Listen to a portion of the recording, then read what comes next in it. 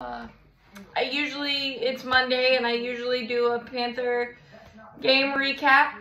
Um, and it was going to be disappointed because we lost 30 to 24 to the Tampa Bay Bucks to knock us out of playoff contention.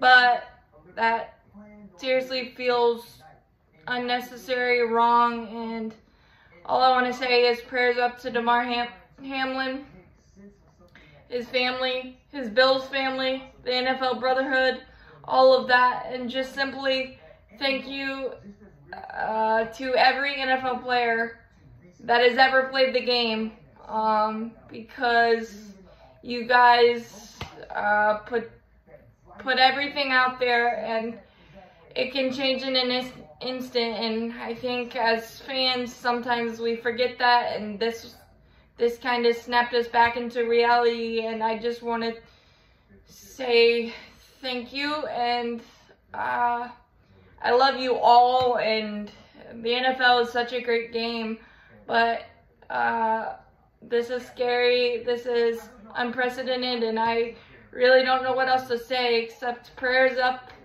and uh, Just prayers up. Hug your loved ones because you never know. But prayers up and hopefully we get some positive news soon. But again, thank you to every NFL player that's ever put on a uniform.